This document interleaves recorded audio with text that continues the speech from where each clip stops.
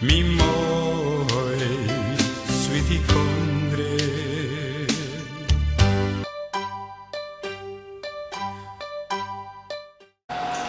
Kijkers en luisteraars, goedenavond en welkom tot het programma Afrekenen met het Verleden voor een Beter Heden.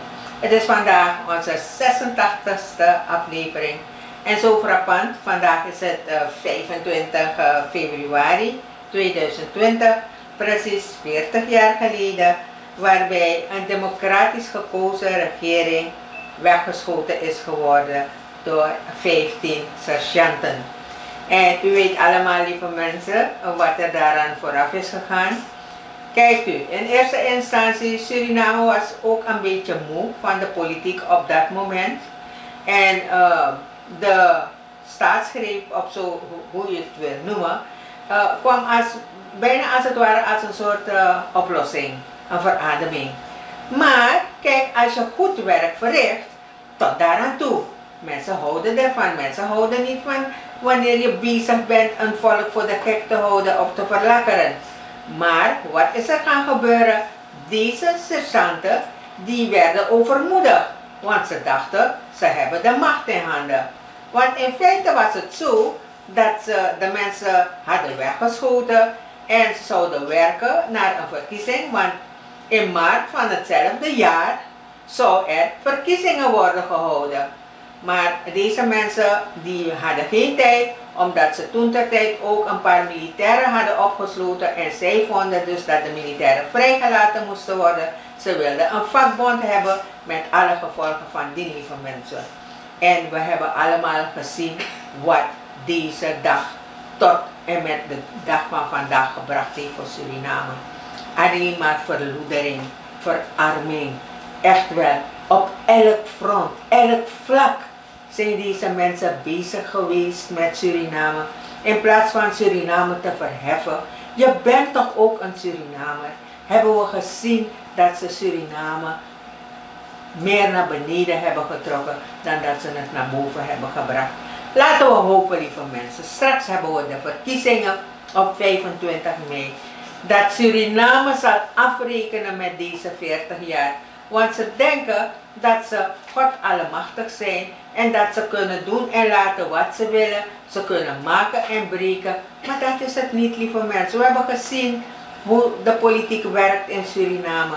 Het is ook vergankelijk. Het is niet blijvend. Niks is blijvend hier op deze wereld, lieve mensen.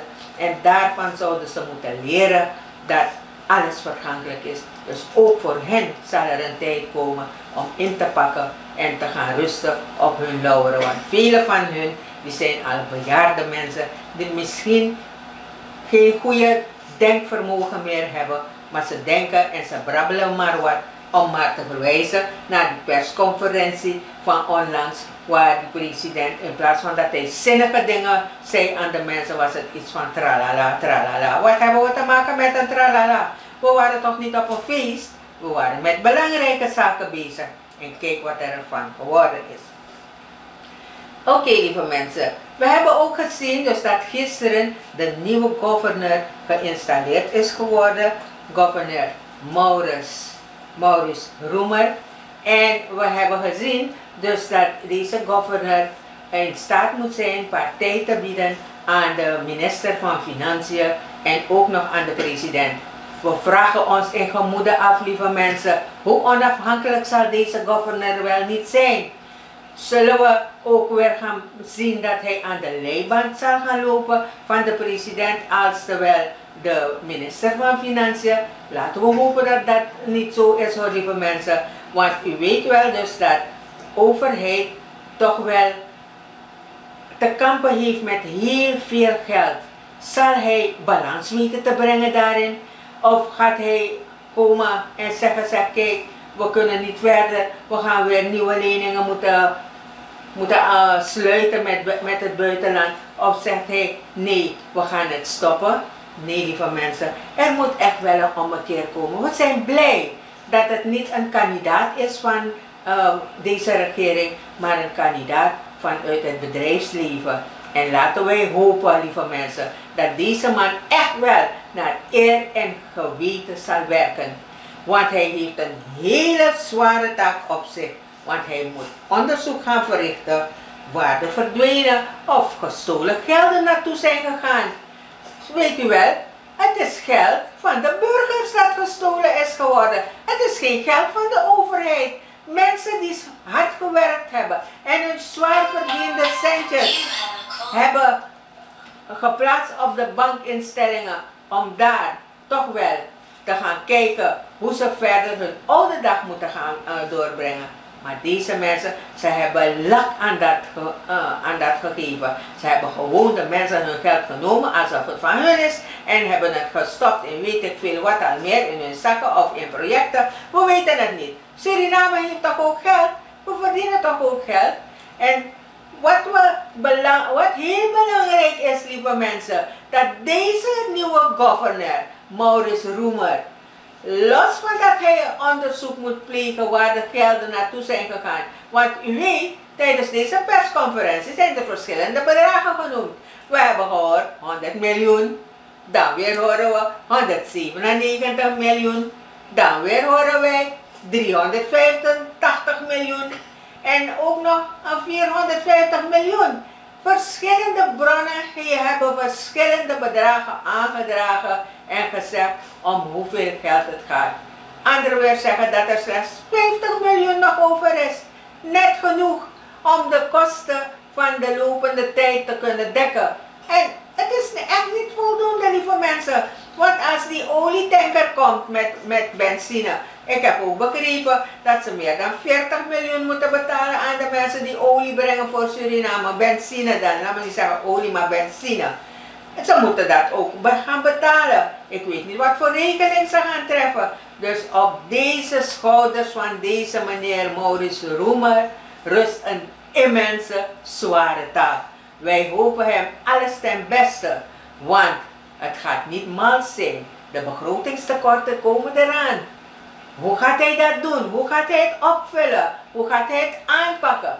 Zal het monetair gefinancierd worden? Of zal er sanering van overheidsbegrotingen komen? Lieve mensen, er zijn ook nog bouwprojecten en showprojecten van deze NDP-regering. En maar, om maar niet te praten van de voedselpakketten die ze geven aan mensen. Dus er zijn zoveel. En die dingen kosten geen 1 cent of 2 cent. Het kost bommen geld. Bommen geld moet deze regering gaan uitgeven voor deze gasten om deze zaken te kunnen opvangen. Het is heel wat hoor lieve mensen, echt wel. We zijn benieuwd wat deze governor ervan zal maken. Want hij gaat het niet makkelijk hebben. U weet wel dat deze regering gewoonweg hun eigen gang willen gaan. En ze willen dat mensen moeten doen wat zij willen. Want als ze niet doen wat ze willen, dan worden ze aan de kant gezet.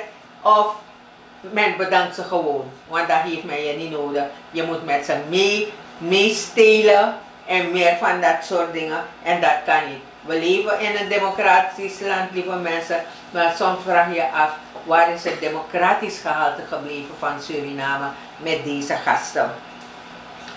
Dan heb je ook nog dat uh, van uh, een soort fraude ding op uh, social media. U weet dus dat gezegd wordt dus dat men voorzichtig moet zijn bij de komende verkiezingen. Omdat zelfs de OKB, mevrouw Silos, die heeft aangegeven dat in het binnenland het niet zo veilig is. Dus kijk, waar er rook is, is er vuur. En als mevrouw Silos dat zegt, ze kan het weten. Want laatst was ze ook op een lezing en daar heeft ze ook heel wat zaken uit de doeken gedaan die ze gewoon niet zou zeggen. Maar tijdens de lezing heeft ze wel bepaalde zaken aangehaald. Dus lieve mensen, laten we hopen dus dat deze zaak ook uh, in orde zal komen. Want ze had het over Sipaliwini. En we hebben ook begrepen van social media dus dat er reeds bussen zijn. En die bussen zullen die zijn gevuld en ze zijn al weggegaan naar het binnenland. Wat daarvan waar is, dat weet ik niet hoor. Het staat op social media, het is niet gezegd door Joyce Abdullah Khan. Het staat daar en wat daar staat, dat geef ik u aan. Laten we hopen dat al deze kwesties die ik heb opgezomd ten aanzien van de komende verkiezingen, want Usabi tak a verkiezingen sa ekong de ma ofufuru reed Omdat de man kutta kut de man wans. De wan kiru moro fara. Next no de moro. Minosap sadotik moro. Echt wel minosap moro. En dan heb je ook nog een heel onsmakelijke zaak, lieve mensen. Dat van die vicepresident Adin. Mijn gunst. Soms schaam ik me, weet u wel. Kijk, ook daar zal er een beurpit opengetrokken moeten worden. Want woensdag moet hij verschijnen voor, om uh, te gaan getuigen in een strafrechtelijk onderzoek over het project van de naschoolse opvang. U weet, we hebben zoveel dingen gehoord van deze naschoolse opvang. En niet alleen hij is erbij betrokken, ook parlementariërs zijn daarbij genoemd. Dus we zijn benieuwd, we zijn benieuwd wat er gaat gebeuren in zaken die verduistering en oplichting van fraude en valsheid.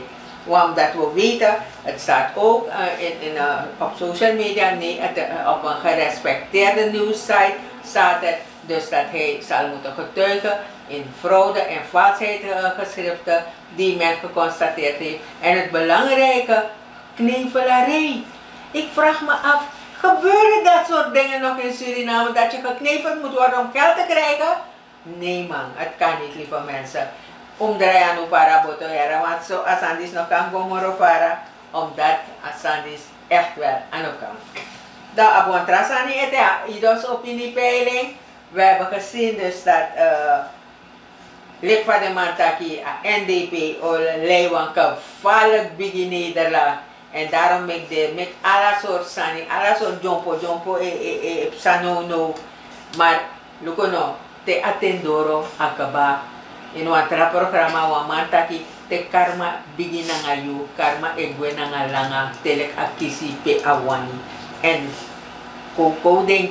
Dus dat de uyere, want isabi, ibe a partij, hè. En de partij dat die de bede zo arrogant, tak den taki den wawa roko, den wai go ina verkiezing. Maar mo teigo no, a yurten de siya idos opini pele, want wala mala sabi, dat meneer Krishna dat, ano wan so man, na sa 20 jaar ma Eduardo di sigba, dat de man ko si tak yere no, a bigisaw be mekita unuwa kami na verkiezing, unuwa kan chawa president ko na verkiezing, ano de era, echt niet.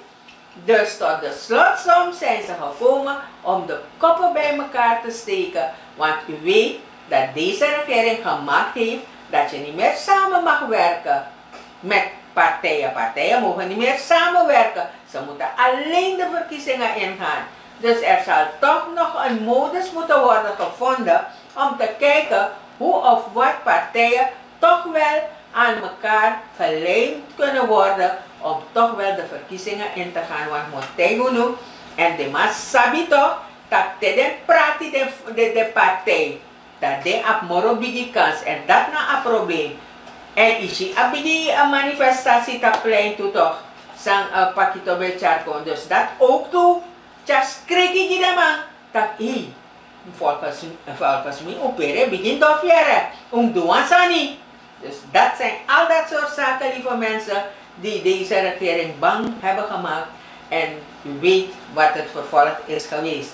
Dus laten we hopen, lieve mensen, dat partijen tot elkaar kunnen komen en dan um, samen kunnen praten. En laten we kijken wat er uit de bus kan komen, hoe ze een mouw daaraan kunnen vastknopen om toch wel de verkiezingen in te gaan. Nog wat vergat ik even. Kijk, de mensen die hebben stad en land afgewerkt en afgelopen om toch nog uh, mensen op zodanig veel mensen op de been te krijgen. Weet je, soms zijn we ook president die dan mee actie mee eigen af, if nou een biggie biggie man drape, sana president van dat ama edule kwam chiningre. Die sabi toch te abib ching, die den boy heeft me weer ching. Maar waarom heeft die gehad en ik niet? Precies zo Aipsa. Die pak te horen in, in Sani. Zonder bus, zonder eten en drinken, zonder iets, zonder geld, geldelijke vergoeding. Dus maar kom massa massa, hila hila des maar kon apply. En kom, omdat de man je vier van asu ik wins ding. De mamoro.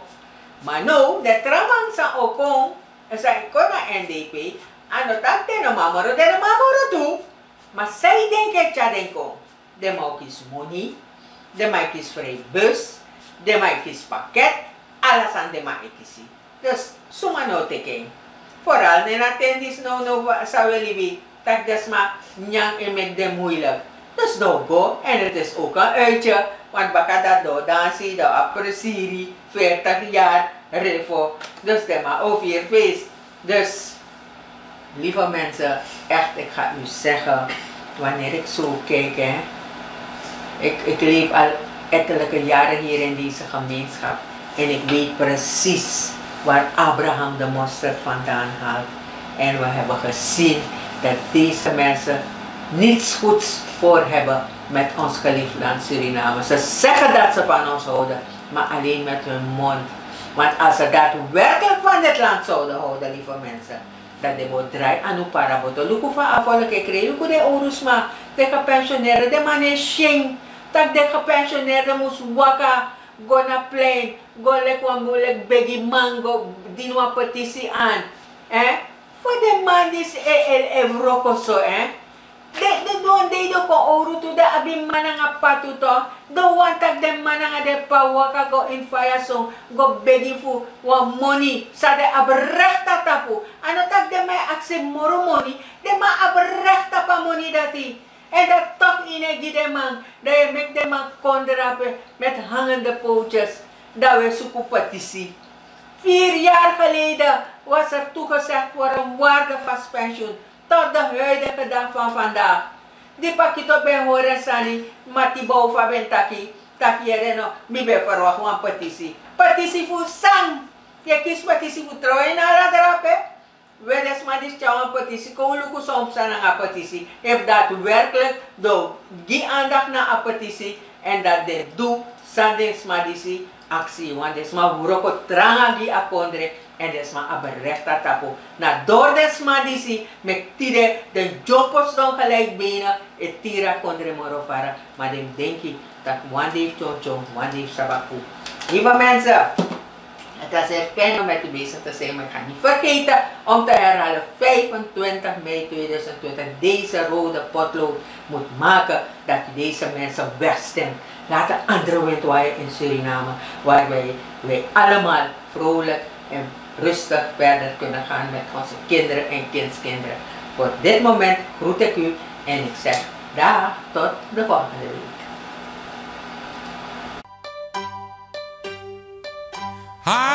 Sranan,